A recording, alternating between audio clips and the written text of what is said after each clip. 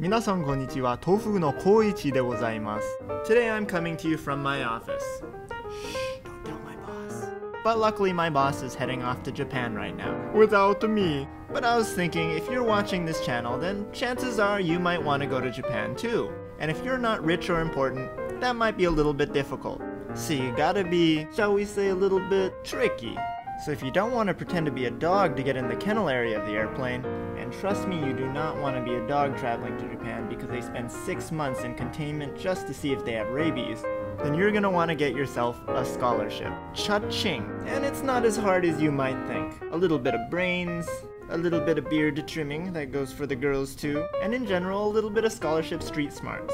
You would be surprised at how easy it is. I mean, this guy got a scholarship, and people say I'm a little bit slow, so you can do it as well. Here's a few tips.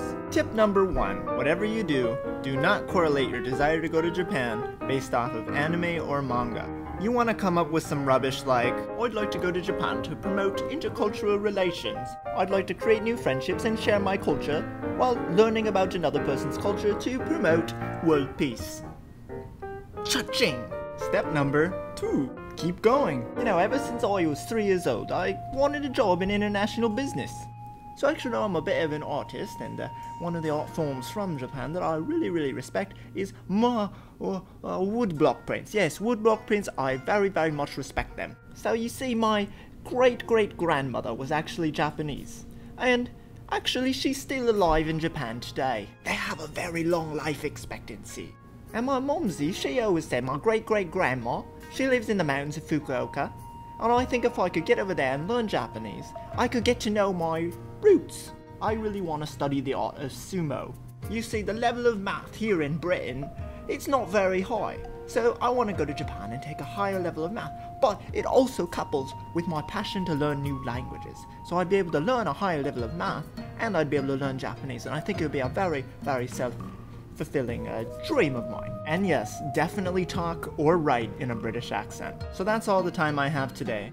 But if you'd like some less British sounding tips and tricks, I recommend you go over to my website, tofugu.com. Over there in the link right in the sidebar, you can get a lot more information on how to get a Japanese scholarship, maybe a little bit information on where you can find these Japanese scholarships, and more. So thank you so much for watching this video, and I'll see you next time. This video was brought to you by eduFire SuperPass, where you can learn Japanese with live online instructors for only $29 a month. That's less than $1 a day. And yes, if you're trying to get a Japanese scholarship, it's probably good to study some Japanese. More information on that in the sidebar, just click more information and look for eduFire SuperPass.